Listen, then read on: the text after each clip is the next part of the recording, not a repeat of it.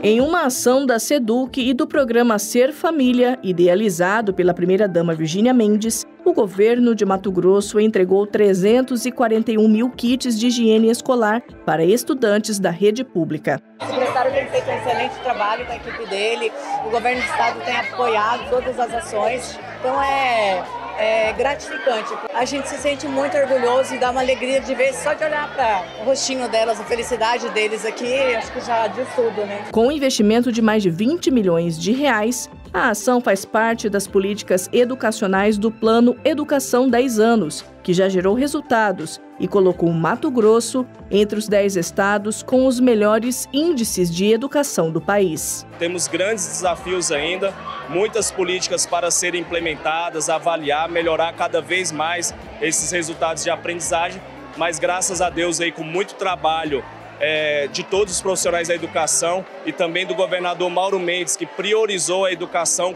investindo muito forte na infraestrutura, na tecnologia e principalmente na aprendizagem. O kit é composto por escova dental, creme dental gel, enxaguante bucal, spray líquido e também absorventes, itens que vão ajudar na saúde bucal dos estudantes. Muitos não têm condições para ter esse kit, esses itens.